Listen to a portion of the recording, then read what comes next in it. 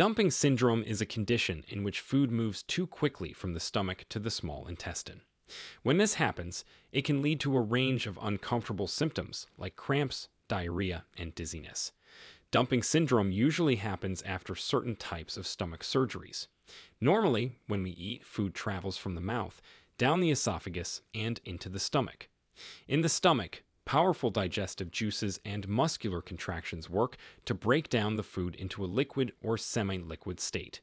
This partially digested food, known as chyme, is then gradually released from the stomach into the small intestine, where further digestion and absorption of nutrients takes place. But in individuals with dumping syndrome, this orderly process is disrupted, leading to a sudden dump of food into the small intestine. This sudden arrival of undigested food causes the body to react in ways that can be uncomfortable or even debilitating. Types of dumping syndrome Dumping syndrome can be classified into two phases early dumping syndrome and late dumping syndrome. Number one, early dumping syndrome. Early dumping syndrome occurs within 10 to 30 minutes after eating. It is the most common form and is characterized by symptoms that happen due to the rapid influx of food into the small intestine.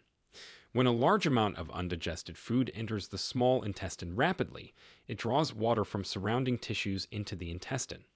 This influx of water leads to the symptoms of early dumping syndrome, such as abdominal cramping, bloating, and diarrhea. The body also responds to this sudden shift by releasing hormones that further exacerbate the symptoms. Number two, late dumping syndrome. Late dumping syndrome happens one to three hours after a meal. This phase is primarily caused by a rapid rise in blood sugar levels following the quick absorption of carbohydrates. This sudden spike in blood sugar then triggers the pancreas to release a large amount of insulin in an attempt to bring the blood sugar back down to normal levels. However, this can lead to an overshoot, with blood sugar rapidly dropping below normal levels. This drop in blood sugar can cause symptoms such as fatigue, dizziness, sweating, and even fainting. Causes of dumping syndrome. The causes of dumping syndrome are closely related to the surgical procedures that alter or affect the normal function of the stomach.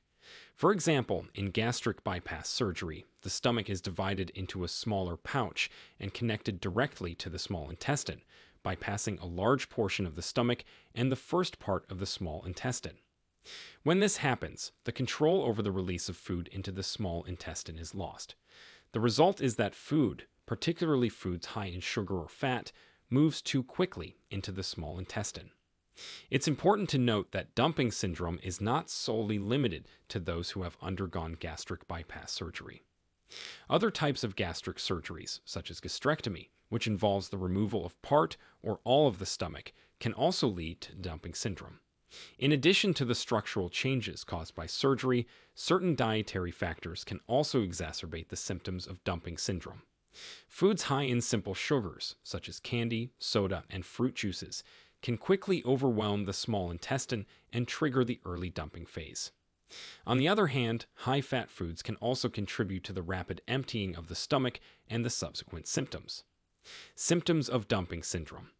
The symptoms of dumping syndrome can be broadly categorized into early and late phases, each with distinct characteristics. In the early phase, symptoms typically occur within 10 to 30 minutes after eating. In this phase, you may experience a sudden onset of abdominal cramps and discomfort. These cramps can be accompanied by a feeling of fullness or heaviness in the stomach as the rapid influx of food and liquid overwhelms the small intestine. Some people also report experiencing nausea and vomiting as the body struggles to cope with the rapid emptying of the stomach contents. Other than that, you may have a feeling of urgency or a sudden need to have a bowel movement as the rapid movement of food and liquid through the intestines can lead to loose, watery stools or diarrhea. Alongside the gastrointestinal symptoms, individuals in the early dumping phase may also experience sweating, flushing, and a rapid heart rate. This is due to the body's physiological response to the sudden changes in blood volume and blood sugar levels. The rapid movement of food and liquid into the small intestine can cause a rapid rise in blood sugar, triggering the release of a large amount of insulin from the pancreas in an attempt to bring the blood sugar back down to normal levels. In the late dumping phase, which typically occurs one to three hours after a meal, the symptoms can be even more debilitating. As the blood sugar levels drop below normal, you may experience a range of symptoms, including fatigue, dizziness, lightheadedness, and even fainting. The sudden drop in blood sugar can also cause tremors, sweating, and a rapid heart rate as the body tries to compensate for the low blood sugar levels. Before we continue, if you have been finding the video helpful so far, hit the like button and don't forget to subscribe and hit the bell icon so you don't miss more videos like this. Diagnosis of dumping syndrome. To diagnose dumping syndrome, your doctor will often start by asking about your surgical history, as the condition is most commonly seen in those who have had gastric surgery.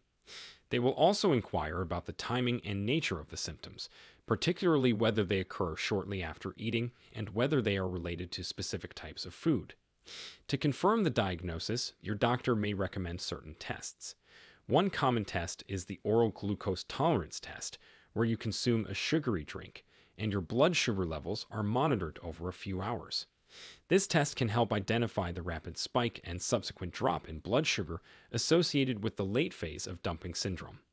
If blood sugar levels fall sharply after an initial rise, it indicates a problem with how your body is managing glucose, which is a hallmark of dumping syndrome. Another approach involves the gastric emptying test, which measures how quickly food moves from your stomach into your small intestine. During this test, you eat a meal containing a small amount of radioactive material. This allows the medical team to track the speed at which food leaves your stomach.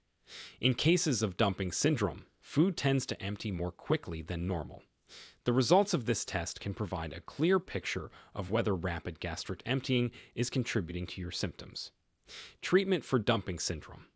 One of the most effective ways to manage dumping syndrome is through dietary changes, since the symptoms are closely tied to how food moves through the digestive system. Adjusting what and how you eat can make a big difference. For instance, eating smaller, more frequent meals can help by reducing the amount of food that hits the stomach at once.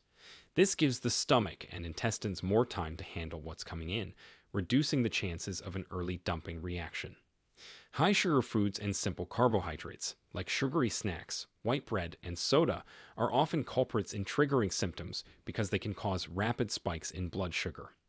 Instead, your doctor may encourage you to incorporate more high fiber, protein rich foods into their diet, as these can help to slow the digestive process and alleviate symptoms. Sometimes dietary changes alone aren't enough, and that's where medications might come in.